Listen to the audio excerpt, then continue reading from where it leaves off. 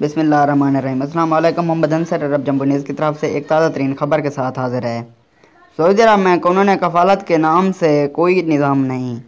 Saudi secretary अफराधी कुआ सताम अलहरबी ने कहा है कि कानून मेहनत में अजीर और आजिर के तल्लक फ़रीकिन के हकूक़ व फ़रज़ मुतन किए गए हैं। इनसे दरियाफ्त किया गया था कि आया सऊदी अरब ने कफालत का कानून ख़त्म कर दिया है।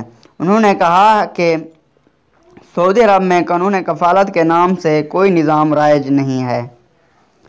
अलरबिया चैनल से गुफ्तु करते हुए सेक्रेटरी अफराधी कुत का कहना था कि दरअसल माशरे में कफ़ील और मफकूल की तबीर का रिवाज चल रहा है और ये तवील अरसे से है, मगर कानून में इसकी कोई संद नहीं है।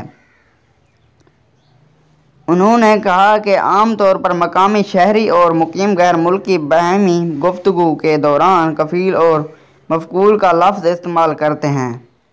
कानून मेहनत में इसका कोई वजूद नहीं है।